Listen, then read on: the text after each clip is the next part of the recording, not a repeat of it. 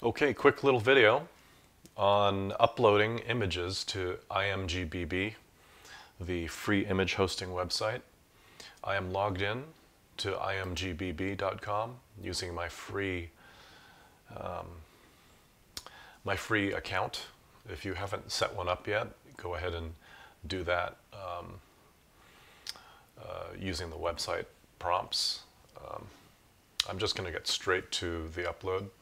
Um, when you're on this website,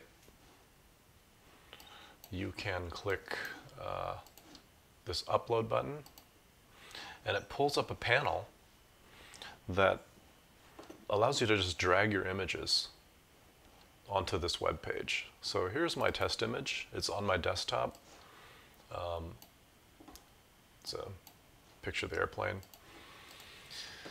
And I'm just going to click and drag it onto my desk onto this panel.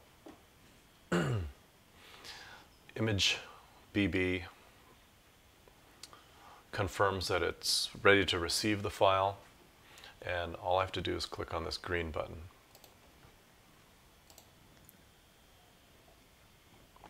When IMGBB is done, I'll give you this confirmation page, and then you get to a series of links here.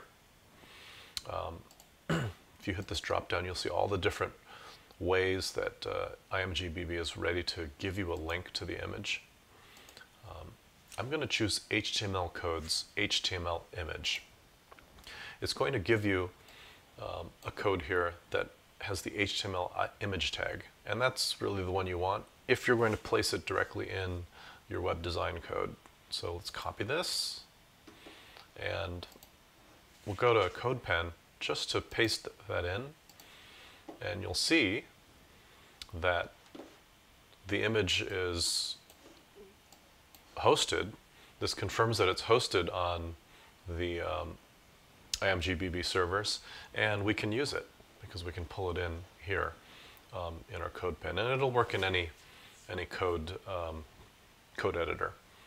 So that's it. It's pretty simple. If you want to uh, to upload another, you can go back to imgbb.com and hit this reset link, and you get to the start of this upload procedure. You can upload another. It's very easy.